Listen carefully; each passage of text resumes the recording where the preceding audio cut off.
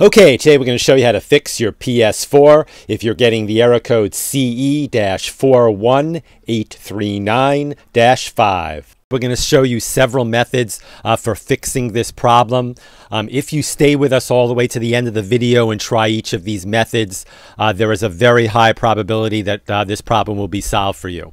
Okay, the first thing to try here is really the simplest, and in most cases this one will actually work so you might not even need to go on. Simply unplug your PS4 from the wall, wait about 60 seconds, now don't be impatient here, wait the 60 seconds, and then plug it back in. If your PlayStation is working again, great. If not, I want you to do the following. I want you to press and hold the power button down and hold it down until you hear two beeps. Then I want you to release the power button and plug in the controller using a USB cable and press the PS button. When a menu comes up that looks something like this, you want to select option number 5, Rebuild Database.